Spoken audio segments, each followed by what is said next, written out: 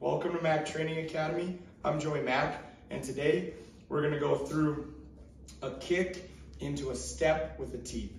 Before we do that, make sure you hit the subscribe button. Uh, leave any likes, comments, questions that you might have. Appreciate your support.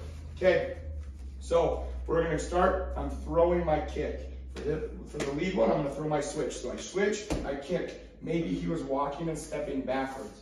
From there, I'm gonna step my foot down, and then I'm gonna load my teep and throw.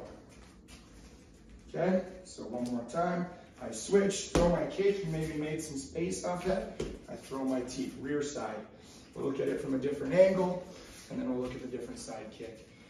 So I switch, boom, I step down, throw my teep. Uh, let's look at the other side. So as I kick, now I'm kicking with my rear. As I hit, maybe he takes that step back and I step down. I can step and instead of having to throw another kick, I can change it and throw that teep. One more angle here, I'm gonna go from this angle. I kick, boom, he maybe makes a little bit of space. I step down, throw my teep.